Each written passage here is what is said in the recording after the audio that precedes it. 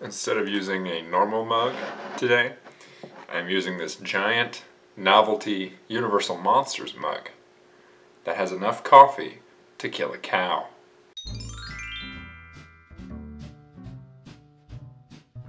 Good morning and welcome back to Coffee with Santi. My chair is spinning and therefore I will be turned around in less than a second. Good morning and welcome back to Coffee with Santi.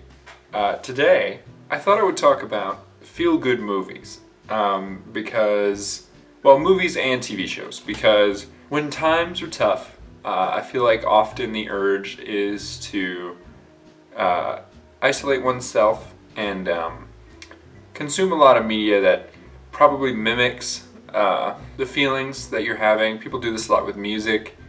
You listen to sad songs when you're sad, happy songs when you're happy. So today, I thought I would recommend uh, a, couple of feel-good things that uh, may help to counter some of the negative feelings people may be having right now, um, or at any point whenever you're watching this, uh, because the internet is forever. The first thing that I thought I'd recommend is a movie that actually came out last year, um, in 2019. It's called Yesterday.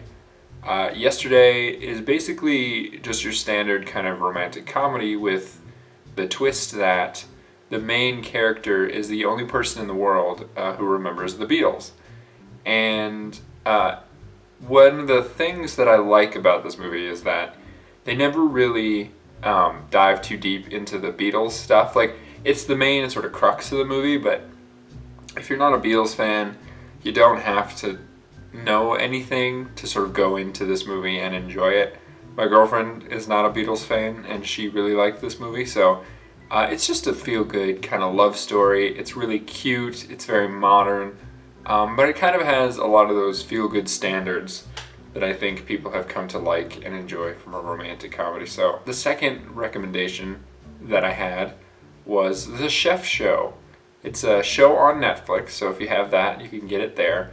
Um, it's just a really good uh, sort of structureless sh cooking show, food show um, created by Jon Favreau, sort of as a spin-off to his movie that he made a couple of years ago called Chef. But yeah, it's just a really good show about food and about two people who clearly just really love food and cooking.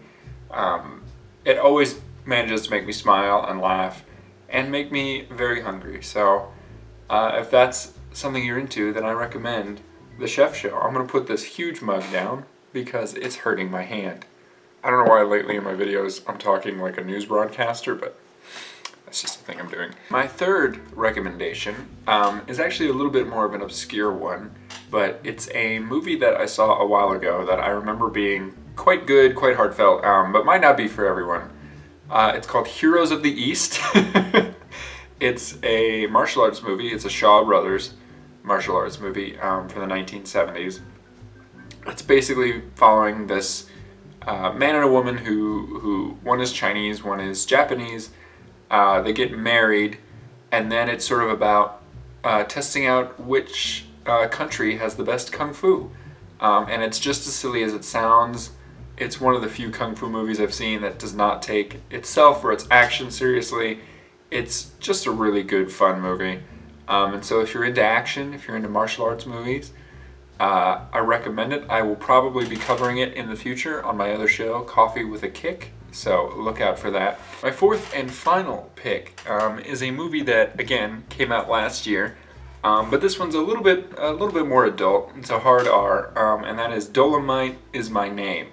Uh, this is the latest sort of Eddie Murphy comedy film. Uh, he produced it. I don't know if he like wrote or directed it. I don't think he did, but um, he stars in it, and it is delightful. Uh, it's feel good from start to finish. It just, it hits all the right notes to make you smile and laugh. Um, and it's recent, if that's the thing you're into, also on Netflix, so uh, you can check that out if you have that.